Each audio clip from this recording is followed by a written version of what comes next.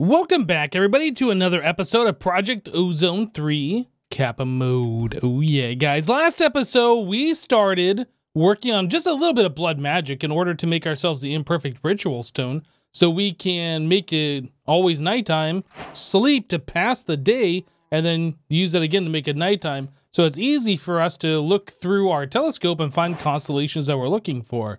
And as it so happens, on this night, we actually have a constellation that we're looking for. This is the Horologium one, which appears very rarely, like every 28 Minecraft days between occurrences. So we should now have that up in the sky somewhere. not actually seeing it. Is it below the horizon? Might be. Yeah, it's right there. Okay. So we can see the constellation right there. So on this night, we can go ahead and attune uh, different crystals to that particular constellation. Um, now, one good thing about the imperfect ritual stone, like I was talking about, you can click it to make it nighttime, but then you have to sleep in your bed to change the day. So I can click this again. You can see in the upper left-hand corner, it says day 454. If I right-click this, it's still day 454, which means the Horologium constellation is still available for us to use. So as long as I don't ever let it change day, we can keep this in the sky and we can work on other things that we need in order to attune stones to that or attune crystals to that. So we have in this chest here some uh, high purity crystals. I think we had some other high purity crystals around as well. I don't remember what I did with them. Mm, are they in this chest? They're in this chest. Yeah, these are all perfect crystals. So these are the crystals that we want to attune to the Horologium constellation. Uh, we want to do like five of them. I might, mm, yeah, I think just about five. I think that's all we're going to do. Let's not get too crazy. The other ones we'll keep in case we want to attune to other constellations. Uh, so let's find the Horologium, this one, put in our offhand like we do, and then pick in our main hand. We're going to get rid of this current constellation because we are not trying to attune to that one. We've already attuned ourselves to that one. But yeah, we only want to attune to the Horologium. So how many times am I going to say that constellation name? Let's, let's, let's uh make a bet on that, I guess. So there's this one, that one, and there we go. So now we are all set. Perfect. Our hourglass constellation is ready to go. So if we cue ourselves a crystal right there, we should attune it. And then uh, the celestial crystals, we want to turn into floating crystals. I can't remember exactly how you do that. Let's take a look through the quests here. Celestial altar. Why do I keep hearing something? What is that sound? Oh no. Advancement made. Cool. Give me that.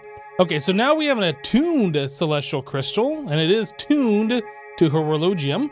So I wanted to see, though, the uses on this. How we turn that into a floating crystal? I guess uh, we can do this. Celestial Collector Crystal. Ah, that's what it's called, Collector Crystal. So on the Celestial Altar, you take an attuned Celestial Crystal, and then you put it with four resonating gems, four Stardust, and four Illumination Powder, and you can make yourself a Celestial Collector Crystal. Now, what's really good about those is one collector crystal on the proper base can power an iridescent altar maximum even during daytime. So that means we can get rid of these guys over here. They serve their purpose. We won't need these anymore. We'll just have the one, uh, what do you call it? The floating crystal, celestial collector crystal.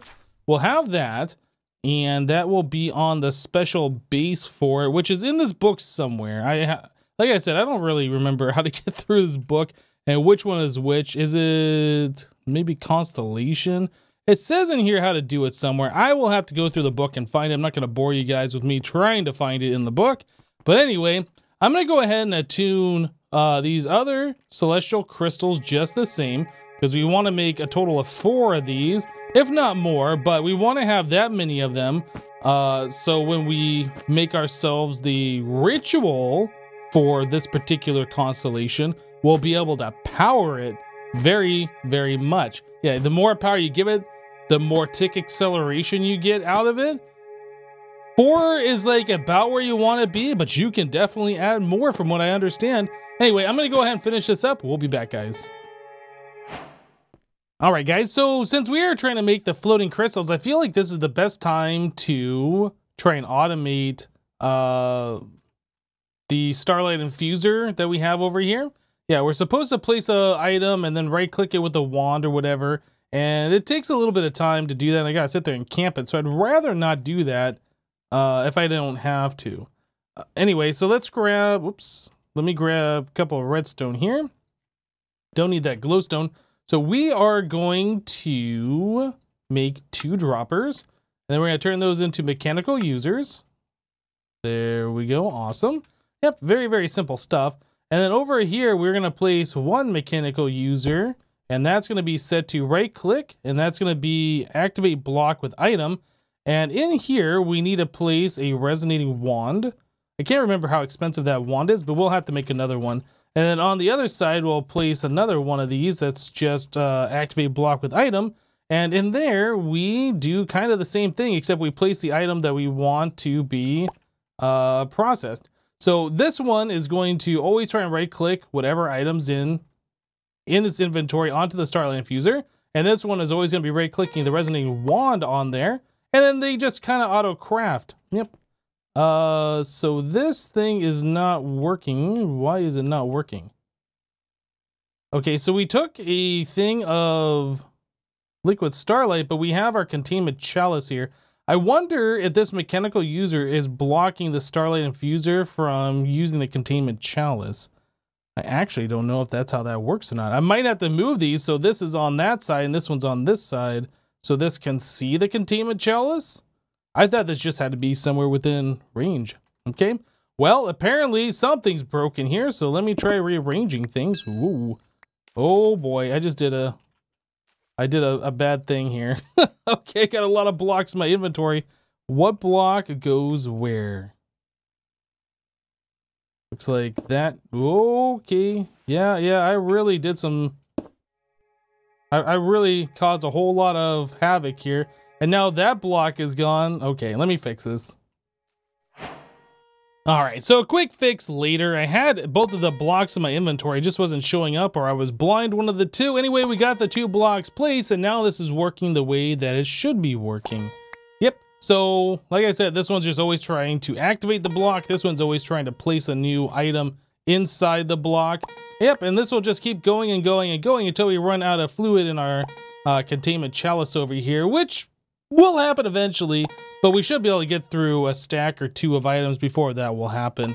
Anyway, I'm going to go ahead and let this finish up. We're going to start looking at doing the uh, floating crystals. Let's take a look at this. So that does require the star dust and the illumination powder.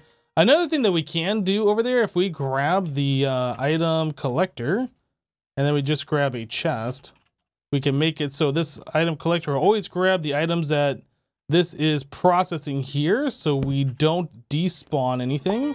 And we're probably gonna set this to like a lower one radius should be more than enough. Yep, and then that'll just go right into its inventory right here. Perfect. Okay, so now we don't have to worry about items despawning. Okay, so moving on, we want to get some stardust. We should have plenty of that, actually, from us growing those crystals. So we have illumination powder, stardust, resonating gems. Is that all we needed? I think it is. Cool. So let's go ahead and make one of these floating crystals together. And we should be able to get this all hooked up. Uh, I will have to borrow that resonating wand though. All right, looks like we can do it. Let me grab the resonating wand real quick. Boop this. Okay, so that's being booped. We'll put it back over here. So this can continue to do its thing. Awesome. Yeah, so I don't think we're going to run out of star juice. We might, but now that we have this, we won't ever run out of star juice. Okay, so this is the multi-block structure. And if we go to the Astral Tome, we can find it here. If we go back, this is in the Constellation section. And that is under the Enhanced Collector Crystal. Yep. So you just build this little multi-block guy. Nothing too fancy. All right, remove the torch. We will place our Celestial Collector Crystal here. and then remove this block. It's got to be an airspace there. Yep, and we can see particles floating into it. We know everything is correct. The only other thing we need to do now is link this to our altar. So let me grab the linkity link. Uh, do I not have a linkity link on me? I don't see it. Is it my inventory? I don't see it at all. Link, double click. It's right here. I'm just blind. Found it. All right, so we do a right click on this and a right click onto here. And that should send all of its starlight power over to the iridescent altar. And you can see now we are completely full on starlight. And it should be completely full all the way at noon, which is when it would be at its lowest. But yeah, I think uh, with the enhanced collector crystal, yeah, we should be full all the time. So now we no longer need these guys. We can go ahead and get rid of these things. This is just kind of like a little bandage or whatever to allow us to proceed. But yet now that we have the enhanced collector crystal, we no longer need this. All right, so we made ourselves four more of the celestial collector crystals. These are all uh, attuned to Horologium. And then we have a celestial crystal here that's not a collector crystal, just an attuned crystal tuned to the same thing. So we're all set for when we're going to hook up the ritual. We're not going to do that today, I don't think.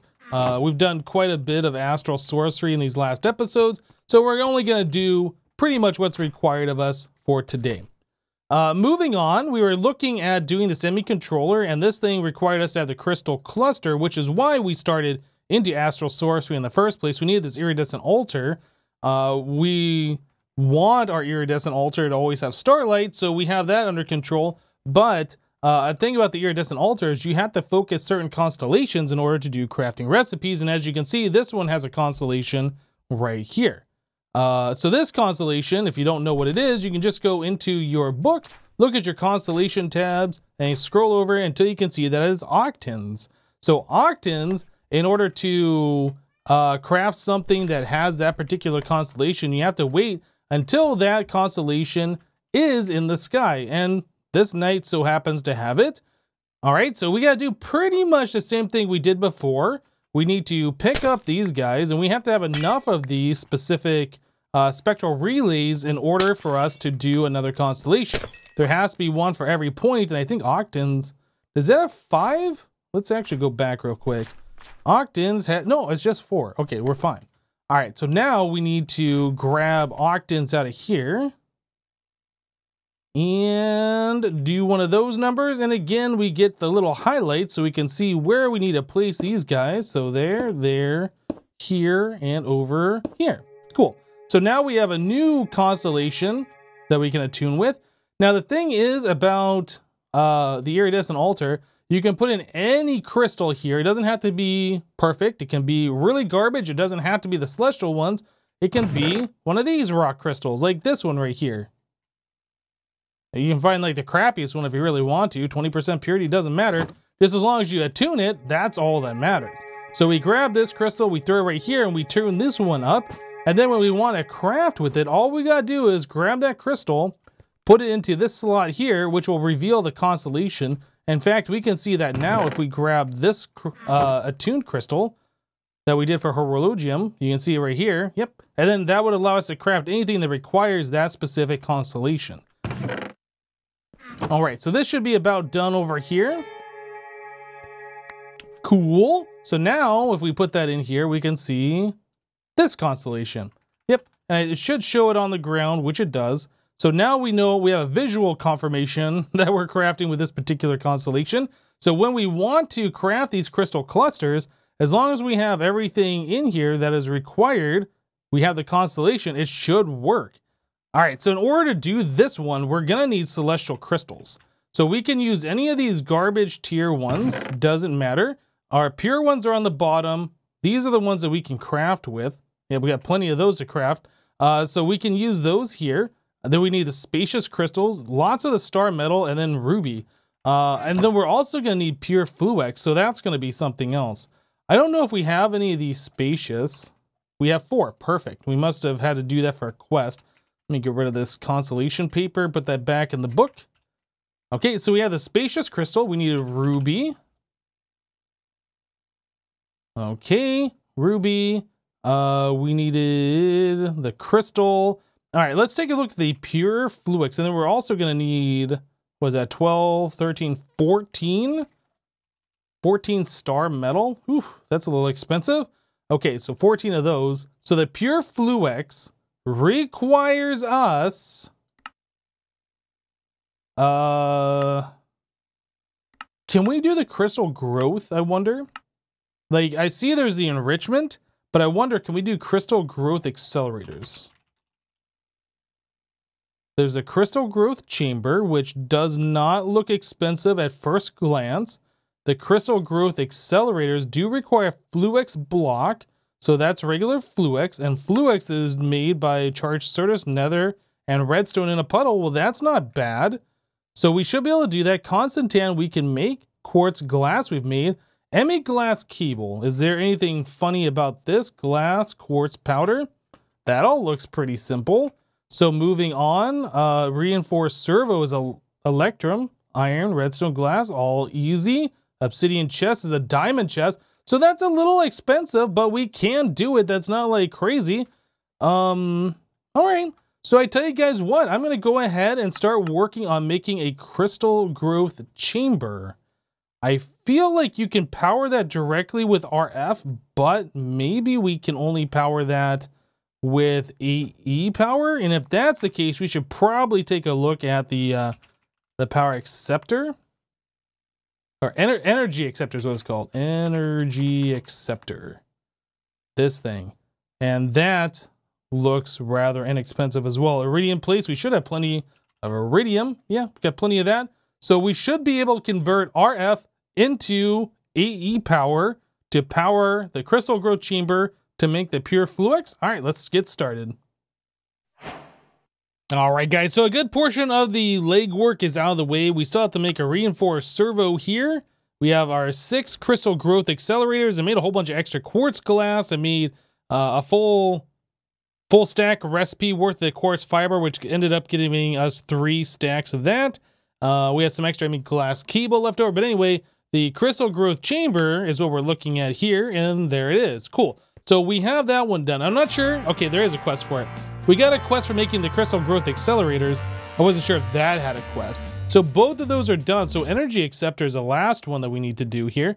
Uh, so radium plate, we need to grab four of those and then just go downstairs and squish those into a plate using our compactor. We'll take out the gear augment. Yep, and then that is pretty quick now that we have this thing upgraded to a resonant compactor. It could be even faster if we add in some of the other augments here to speed it up, but it's fast enough for now. Right, so now that that's done, we should have everything in our inventory to craft this, so let's craft it. Awesome. So that is now done. Is there a quest to complete for that one? Not feeling like it. Let's take a look at the quest book. Uh, so I did upgrade the pack recently. So the quest book is slightly different now. So the quest line, you click the button and then you can choose. And the little description thing that was down here that used to tell you what this page was about is not there anymore. You have to click this button and then it shows up here. I'm not sure I like that. I don't know if that's configurable or not, but that's the way the pack is now. Uh, that zoom to fit. Yeah, that's kind of cool. If you scroll in or whatever, like it'll put it all at 100% or whatever. So I like that feature. Uh, there was a thing though, I was supposed to run a command since we upgraded the pack and some of the quests were changed. What is it? Slash BQ admin. Uh, maybe I can't do it because I'm not op. I might have to do it on the server console. It's like BQ admin default load or something. Anyway, that's supposed to update some of the quest text and things like that. I guess I'll just worry about that later. I thought I could just do it right now, but I'm not op on my local server. Uh, all right, so Fluix Crystal. Yeah, so we got a few of these ones done, which is fantastic. So we'll worry about those in a little bit. Let's grab our energy acceptor. We'll just put it down here on our power thing since this is where all of our power is right now. We're just going to plop this down here and plop this on top. So this should be converting the RF to AE power, which should be powering our crystal growth chamber, which should allow us to easily take uh, the Fluix seeds and convert them into the Fluix crystal. So Fluix seed, Those are made with Fluix dust mixed with sand. You get two seeds this way. And then, yeah, we just put them into the crystal growth chamber. Whoops, hit the pressure plate. So let's, oh, I guess the first thing we should do is start making some Fluix dust, huh? So over in our pulverizer, well, I don't know, let's just do a full stack. Why not? I mean, I think pretty much everything that you need a Fluix crystal for, you can replace with a pure Fluix crystal. So it's just more efficient. Uh, so we are going to need a full stack of sand. Okay, so now that we have those, we can just start mixing this stuff. We don't need to do all of them right at the same time. But there's 50 Fluix seeds. Quest complete, crystal dusts. Nice. And if we throw that into here, yeah, this is now uh, growing it. So we could make this faster if we had the growth or the acceleration cards in here. I don't even know what those cost. Probably Fluix, right? Yeah, so it's advanced card plus Fluix, and then the advanced card required us to have a calculation processor, which we haven't even done yet. I think we can make that though. Steel plate, sticky pistons, and a Fluix crystal. That doesn't seem so bad. Really what I want to do at this point is get us to have digital storage. That's like my main goal to do, to get us to the ME controller, start setting this up and then routing that so we have digital storage. Man, I guess we just unlocked a whole bunch of quests here. Uh, so there's Pure Fluix Crystal. Energy Acceptor, I guess that did have a quest. All right, are we done? are we done with the fanfare for a minute? Uh, this. Oh yeah, look at this. Okay, so uh, the crystal dust. I mean, we must have already had the crushed quartz. Yeah, we've gotten that from sifting, and we got this one from sifting, and this one we just made, so that unlocked that quest, which unlocked these other ones. So ME glass cables. It wants us to do the smart and the dense. We'll worry about that later. That's not important right now. So yeah, it looks like we're next step is to do the storage components, which we're definitely going to want a lot of these. So that's either Certus or pure Certus, Redstone, and the logic processor. So that is going to require us to make an inscriber and get started down this path here. Uh, I guess first things first, I will take care of this rest of the, uh, the dust that we made, turn that into the pure Fluix, and then we'll continue on, guys. All right, guys, so we have enough stuff here in order to make two of these blocks, the crystal clusters. That's what we need to make our ME controller. Obviously, we're going to need some other stuff here, but yeah, we need these made. Well, anyway, we have uh, one celestial crystal in there, nothing special about it. We should be able to start this craft up. Yeah, we have the octans thing. Oh, you know what? Yeah, I did forget this. We have to put two star metal ingots over here, so I'll put one here and one here. Yep, now that recipe completes just fine, so I'll throw this other celestial crystal right here. We'll start it up again, and this will want star metal, star metal, and done. Awesome. So now we have two of these crystal clusters. So that is part of the way to getting our ME controller. So now we need to do a little bit of mechanism. Actually, I guess we could look at doing this one. Uh, energy. Oh, wow. We have to make eight more energy acceptors. Ooh, I didn't realize we had to do that. Okay, well that's easy enough, I suppose. Uh, getting the iridium, that's half a stack of iridium. I don't know if we have that, and I don't remember if we can sift for it. Uh, we have some, eh, oh yeah, we must be able to sift for it. We have this here. Okay, well, uh, we're part of the way there, and this iridium ore. I think we smelt that and we get some stuff, right? Oh, we get a lot of stuff. So this, if we smelt that, that should give us two per. Oh yeah, we're good. We're good. That's all we need. So we have enough of the iridium for this guy. And then we needed eight of these guys. Whoa, okay, yeah, yeah. Yeah, we should have everything. All right, so I'll go ahead and get this cooking up. Whoops. Was there anything else special about this that we needed? Yeah, we're going to need a calculation processor. So we will have to make this guy. Uh, steel plates. Yeah, I'll just go ahead and craft this up. Well, so far, so good, right, guys? We need this dense energy cell, so we have the energy cells made. That was pretty straightforward. And then I made an inscriber, so we have that as well. Uh, the inscriber, in order for us to do stuff with it, is going to need uh, some of these inscriber presses, though, right? So if we want to do the silicon one, we need silicon for pretty much every single processor. So the silicon inscriber press If we had one, we could take it and copy with a block of iron, or this is the recipe and how to acquire a inscriber silicon press. That is with Certus Quartz Essence plus silicon. Well, the silicon I think is pretty easy.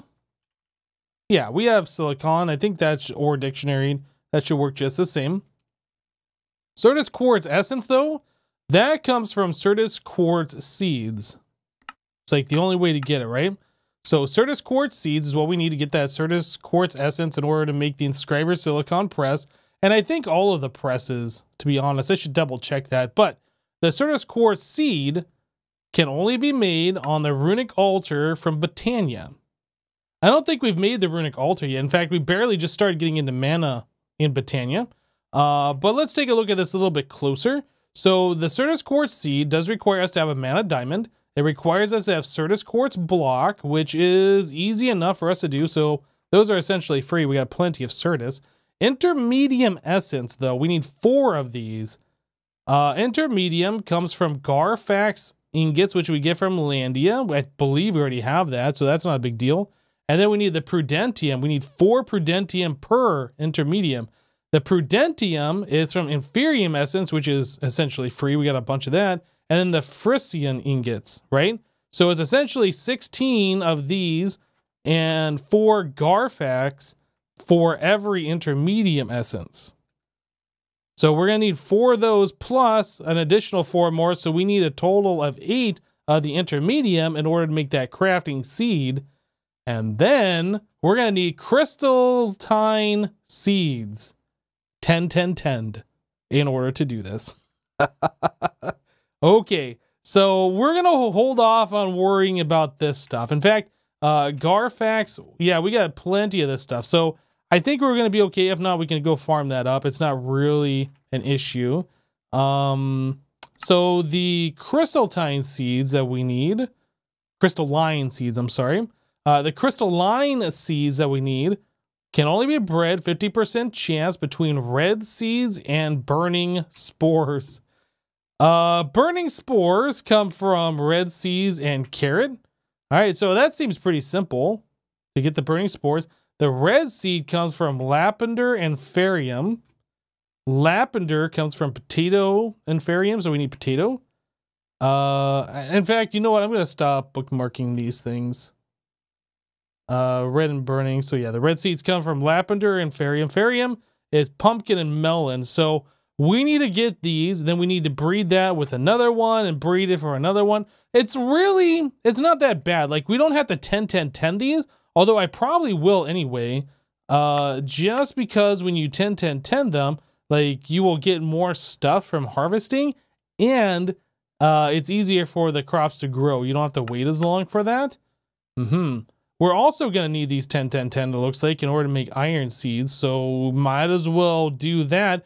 And that's going to be like a lot of agricraft growing and crossbreeding and all sorts of fun stuff along those lines, guys. We don't got time for that. Not in today's episode, anyway.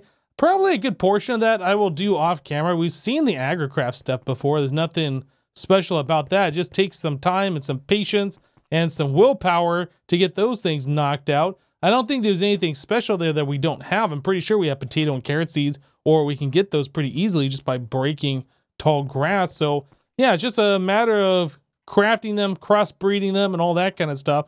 We'll probably look at that uh, a little bit next episode, I think. But anyway, guys, that's going to do it for this episode of Project Ozone 3. Thank you guys for watching. Remember to leave a like on this episode if you liked it, and we'll see you next time. Thanks for watching, guys. Bye-bye.